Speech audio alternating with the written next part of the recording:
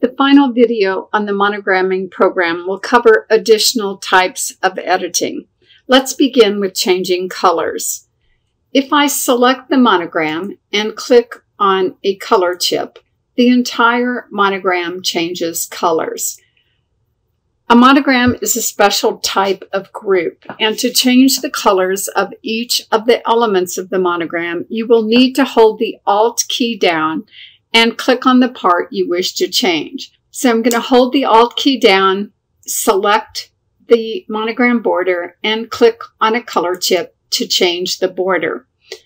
I can also click on the inner border and change that to a different color, and also the letters and change the letters to a different color. Another way you can edit a monogram is to kern the letters.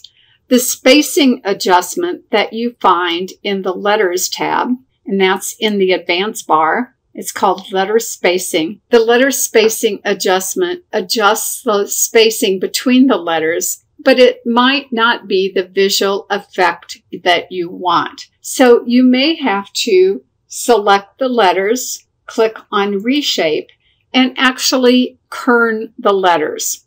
You'll see that there is a magenta diamond in the center of each letter.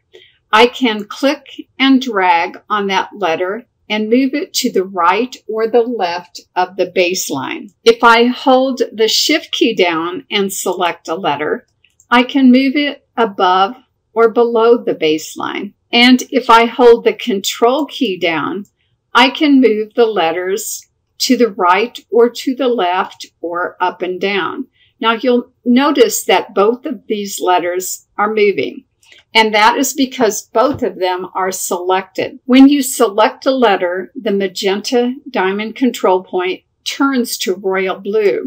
So you want to make sure that you have the proper letter selected before you start editing. When I'm done editing, I can press the escape key and then I'm ready to continue to edit the design. If a dense ornament will stitch over a satin border, you may need to activate remove overlaps. If I select the monogram, you'll notice that remove overlaps is grayed out. And that is because the ornament needs to be broken apart before remove overlaps becomes available. You will always want to save the design as a monogram that is not broken apart.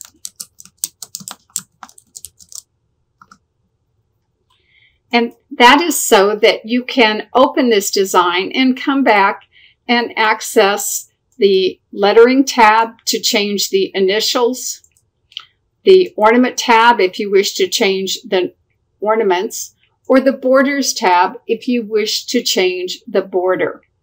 Once a monogram is broken apart, it is no longer recognized as a monogram by the software. So you'll always want to save it not broken apart first. Now I'll select the monogram and I'll select break apart. I'm going to select file save as and I'll just rename this file as a monogram broken apart. And now I can select the ornaments and click on remove overlaps. And you'll notice that when I move these ornaments, that the understitching has been removed. I'll click undo to get that back in place.